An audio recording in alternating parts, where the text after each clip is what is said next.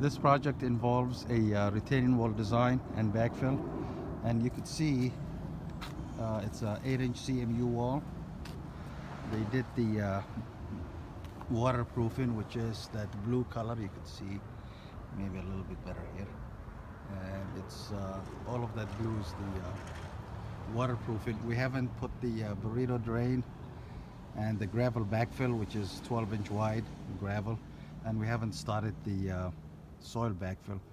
We're waiting for the uh, compressive strength results to come back for the grout. And if we walk along you could see at this point it's about three foot tall and then it goes up eight inches one block high and then it keeps going. And it's very close to the property line. The property line is about six inches from the front face of the wall. And now it's getting taller it's almost six foot tall. And as we move along you could see it's about seven foot now. And it bends around to join the uh, near the public road. Okay.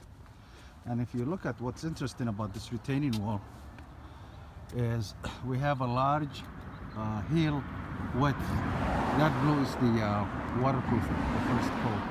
So because we have a large uh, footing we wanted to avoid the surcharge from the pool. I don't know if you can see it from here or not. Maybe let me move around. And let's keep going. Yeah right there is the uh, that's the pool. And that's about seven foot drop.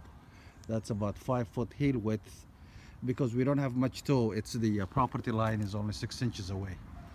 And uh, this was we used 8 inch CMU wall and we used the retaining wall software by Soil Structure Rapid Retain. And architecturally it's, it's kind of pleasing when you see the round the arc and the circular.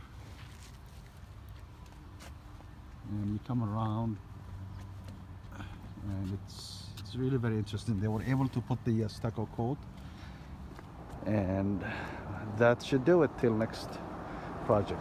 Okay thank you